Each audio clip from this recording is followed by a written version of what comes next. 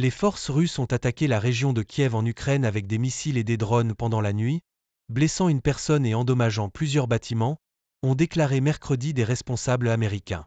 À la suite de la chute de débris, une personne a été blessée et a reçu des soins médicaux sur place, a déclaré Ruslan Kravchenko, chef de l'administration militaire régionale.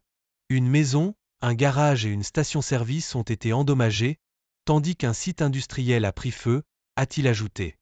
Cette attaque survient un jour après que deux responsables américains ont annoncé que les États-Unis enverraient un autre système de défense aérienne patriote à l'Ukraine.